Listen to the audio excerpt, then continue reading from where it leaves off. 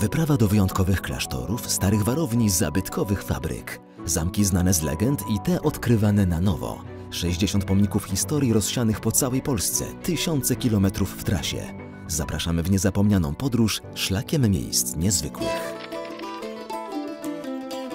Pomniki historii to najważniejsze elitarne grono obiektów o wyjątkowych wartościach materialnych i niematerialnych oraz szczególnym znaczeniu dla dziedzictwa kulturowego naszego kraju.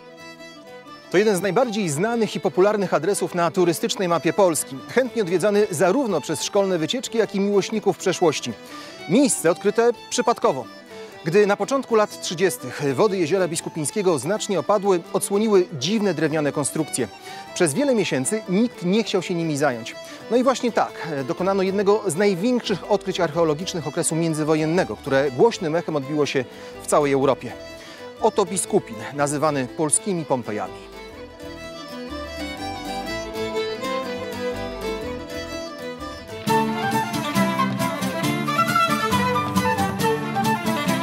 Odkrycia osady w Biskupinie, liczącej 2700 lat, dokonał miejscowy nauczyciel Walenty Szwajcer, który o wystających z wody drewnianych konstrukcjach poinformował profesora Józefa Kostrzewskiego. Archeolog jeszcze przed wojną rozpoczął badania. Kontynuował je profesor Zdzisław Rajewski.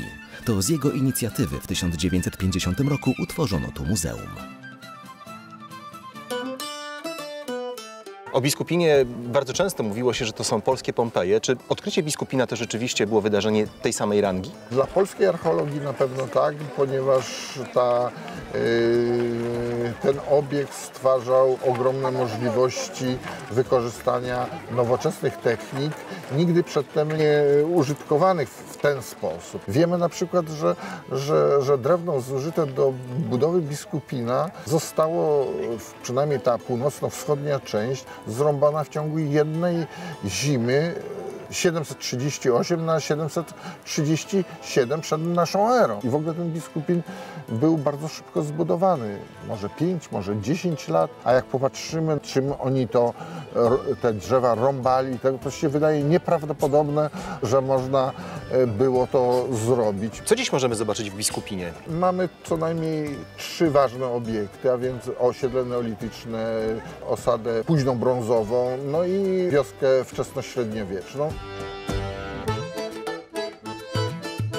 Osadę obronną kultury łużyckiej wzniesiono na niewielkiej owalnej wyspie, którą z lądem łączył drewniany most.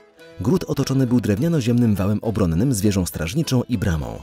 Żyło tu około tysiąca osób zajmujących się uprawą roli, hodowlą zwierząt i rzemiosłem. Biskupin to nie do końca jest muzeum, Biskupin to nie do końca jest skansen. Jak to miejsce można... Nie, absolutnie. Nie, to bronimy Nie. się przed tym słowem. Nie, to nie jak to miejsce być. opisać? To jest rezerwat. To po pierwsze. Najważniejsze, że w miejscu, gdzie były dane relikty odnalezione, powstały rekonstrukcje odpowiadające temu. Jakie odpowiedzi wciąż Biskupin jeszcze czeka? Hmm, jest takie odpowiedzi bardzo duże, nawet związanych z samą osadą. Ta osada została opuszczona przez mieszkańców, więc oni zebrali ze sobą najważniejsze, najcenniejsze rzeczy. Nie wiem, co przyświecało tym, którzy zbudowali tą osadę. Jaka miała być e, funkcja tej osady, która naprawdę była zaplanowana od początku do końca, czyli po prostu przyszli tu ludzie, szukali tego miejsca i wszystko, co na tym półwyspie, to był podmokły półwysep, wyspa czasami, było dostosowane do życia tych ludzi. Jak wchodzimy z kimś na wały i pokazujemy im ulicę, dziwią się, że ulica nie jest idealnie prosta. A dlaczego ona nie jest prosta? Dlatego, że jedynym źródłem światła były drzwi, otwarte wrota. I w związku z tym, gdyby to były proste, to słońce idące łukiem po nim w pewnym momencie jeden dom zasłaniałby, a ono wchodzi idealnie równolegle. Mieli oni ogromną wiedzę na temat tego, co ich otaczało, jakie drewno było najlepsze do tego, żeby palić, do tego, żeby wędzić, do tego, żeby budować domy. W Biskupinie kolejne pokolenia badaczy wciąż odkrywają przeszłość dzięki archeologii doświadczalnej. Naukowe eksperymenty odtwarzają między innymi rzemieślnicze techniki. Co to jest? E, To jest zestaw do produkcji dziegciu. Czyli w tym miejscu pokazujemy najstarsze techniczne, chemiczne rzemiosło świata. Ta metoda, którą tutaj prezentujemy, ma prawie 4000 lat. Y, Co się dalej będzie z tym naczyniem działo? Więc teraz tak, zaczniemy właśnie rozbijać tą skorupę i to jest bardzo istotny moment. O, Czysty dziegieć z epoki y, brązu? to jest czysty dziegieć. On jest gęsty, Czyli samo zdrowie. Samo zdrowie. Weterynarze do dzisiaj y, wyłącznie dziegciem leczą choroby skórne zwierząt domowych. Jest masę przysłów y, bardzo ciekawych. No pomijam już to, kto smaruje, ten jedzie oczywiście, ale też y, mówiło się, że y, pijaj i dobrze jadaj, ale z szewcem nie zasiadaj, bo choć zadek zapcha wiechciem, przecię zawsze śmierdzi dziegciem.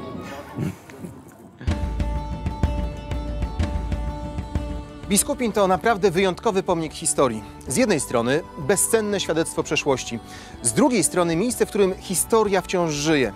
To swoiste laboratorium przeszłości, dzięki któremu coraz więcej wiemy na temat tego, jak żyli nasi przodkowie. I co ważne, tego życia możemy tu dziś dosłownie dotknąć.